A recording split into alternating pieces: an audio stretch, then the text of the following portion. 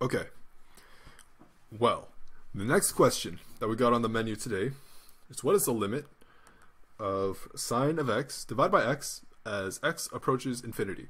And we can rewrite this uh, in as the limit form like this. Lim, lim short for limit, x approaches infinity. That's a very big number of sine of x divided by x. Okay. Um, let's just like kind of get a feeling for what these numbers are as x gets bigger. So, and, and if we look at the two things individually, like the sine x and the 1 over x, um, we can kind of get some clues based on this. So we know that sine x looks like this. Sine of x is like this. So here we got positive 1, here we got negative 1, and it will never be a value that is outside the range of sine of um, 1 or negative 1, right? It will just look like this. So negative 1 is always less than or equal to sine of x, which is always less than or equal to positive 1. Okay, so we know the number on the numerator here uh, for the limit is always going to be between 1 and negative 1. So as time goes on, you know, we're still just going to see between 1 and negative 1. So, you know, the thing about fractions is what the fraction gets bigger as the top gets bigger. But I mean, if the top is always the same, well, you know, then we're only going to worry about the bottom. Now, if we were to draw out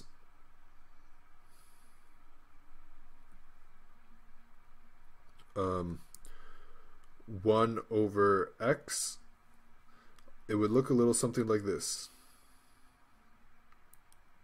Like that and like that. Of course, we've got a vertical asymptote, but we're really just worrying uh, as it goes towards here. Okay? You can see like you know the bigger number that you divide that you have for x it, it means like it's 1 over a bigger number. That means the number is getting smaller and smaller and smaller. So if the top is going to be sine of x and it's always going to be between 1 and negative 1 and the bottom is going to get larger and larger and larger well no matter what if x gets really really big to like let's say x gets to 5 trillion you know anything it's going to be like between 1 and negative 1, a very small number divided by 5 trillion. Well, that's going to be pretty much 0. So based on that feeling alone, we can kind of conclude that this uh, limit is going to approach 0. Um, but we can get more rigorous in the proof instead of just our feeling of it. And um, we can do it with the squeeze theorem, also known as the sandwich theorem.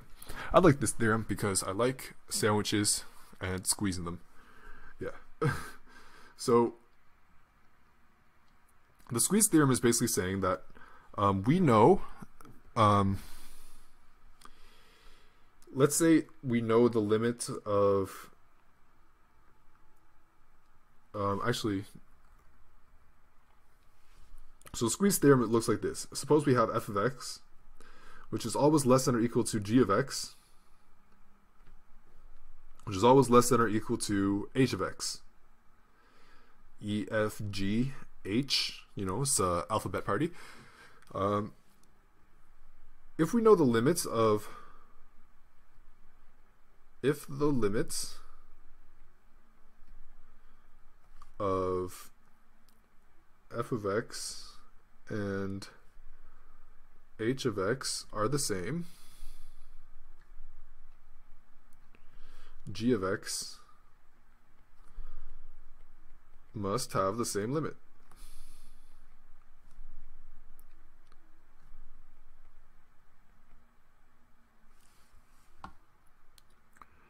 Okay?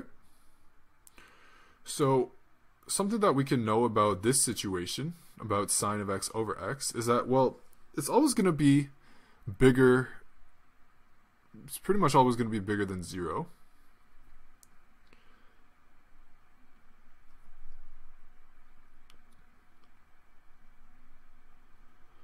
over x, and which is pretty much always going to be smaller than um, than 1 over x.